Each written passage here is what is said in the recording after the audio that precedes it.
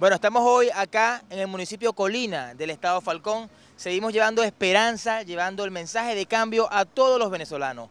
En un país que ha, estado sometido al olvido, en un país que ha sido víctima de la desidia de un gobierno nacional que ya no escucha a su pueblo. Los venezolanos no podemos seguirnos acostumbrando al país que estamos viviendo. Los venezolanos no podemos tomar como costumbre un país donde cada 30 minutos muere un venezolano.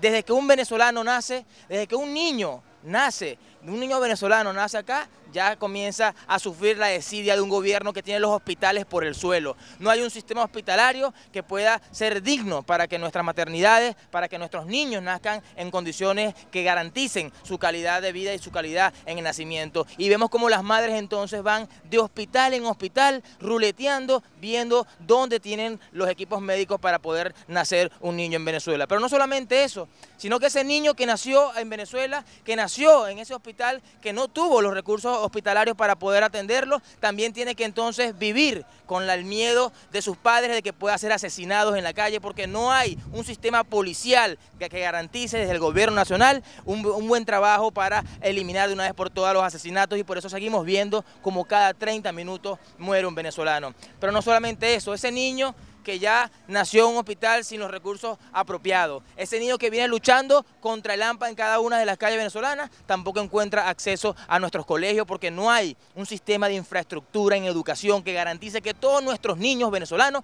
puedan acceder a la educación básica o puedan acceder a la educación secundaria y mucho menos a las universidades. Es por eso que nosotros seguimos mostrando que hay un camino mejor. Seguimos mostrando que hay un camino que, donde podemos todos progresar, donde todos nuestros niños puedan tener un sistema de educación digno, donde todos nuestros jóvenes puedan tener un sistema de empleo digno y donde todos los venezolanos podamos seguir progresando. Por eso que este 7 de octubre todos los venezolanos debemos salir a votar por nuestro futuro. Todos los venezolanos debemos salir con alegría, con entusiasmo, con pasión a votar por el futuro del progreso de toda Venezuela.